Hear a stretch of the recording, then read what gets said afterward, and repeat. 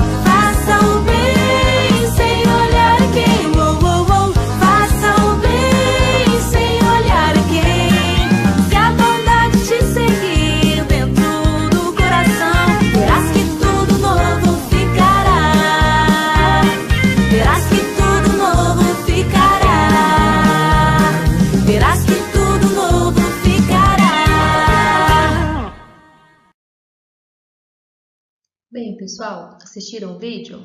Gostaram? Eu espero que sim. Bom, em continuidade à nossa aula, é, a palavra bondade é o nome da virtude de uma pessoa bondosa. Portanto, bondade é um substantivo, isso mesmo, e bondoso é adjetivo, pois é uma qualidade, né? Bondoso é uma qualidade da pessoa que pratica a bondade, ou seja, a pessoa que pratica o bem. Bem, existem muitas maneiras né, de sermos bondosos aí no dia a dia, como por exemplo, ouvir os outros com atenção e interesse, não é? Cuidar com amor e ternura de uma pessoa, ter atenção com o próximo, responder com educação e gentileza, não é? Ser responsável, ser honesto, dentre tantas outras coisas que praticamos no dia a dia como atitudes bondosas, não é?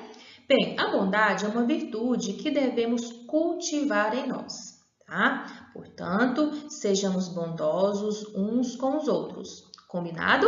Vamos seguir com a nossa aula.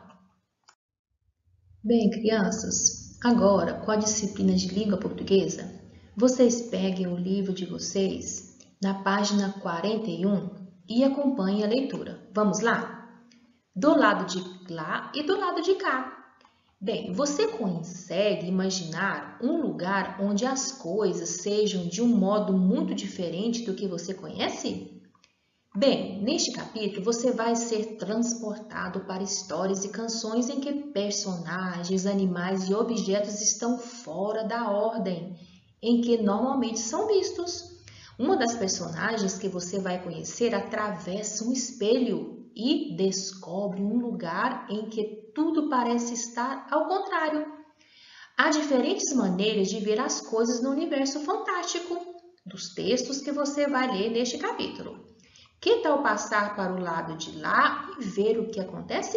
Hum? Bem, observe a imagem aqui abaixo. Olha só, nesta imagem o gato está de frente para o quê? Por que a imagem dele aparece duplicada e invertida? Você acha que as coisas ficam muito diferentes quando vistas por meio de um espelho? Hum, por quê? Vamos pensar sobre isso e respondam. Vamos seguindo com a nossa aula. Bem, pessoal, agora na página 42 e 43, no livro de vocês de língua portuguesa Aprender Juntos, temos lá este texto aqui, ó, o outro lado do espelho, tá? Façam a leitura desse texto, tá bom? Com calma, com atenção, façam a leitura em voz alta, certo? E faremos as nossas atividades agora. Hora da atividade, vamos ver o que temos. Então, na página do livro de português 44, temos lá a questão 1. Olha só, a história que você acabou de ler, né, agora há pouco, do que, que foi mostrado, foi escrita por Lewis Carroll. Acho que é assim que pronuncia, né? Você já ouviu falar desse escritor? Leia o box aqui abaixo ó, e saiba como ele criou as histórias da personagem Alice. Vamos ler?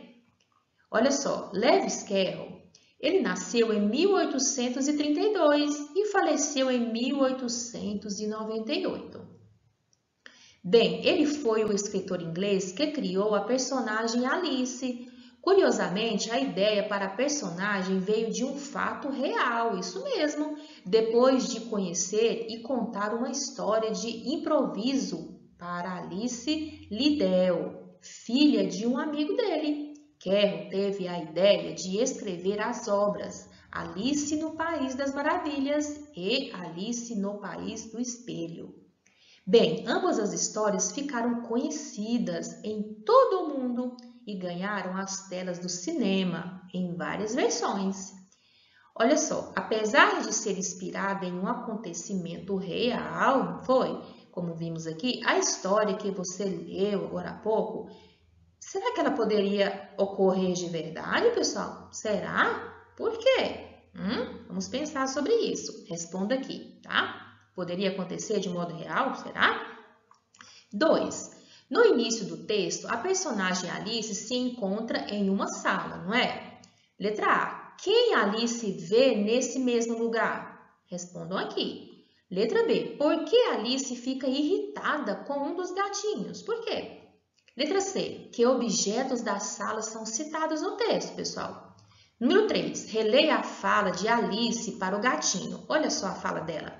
Se cruzar os braços e ficar em pé nas patas traseiras, você parece uma rainha de xadrez.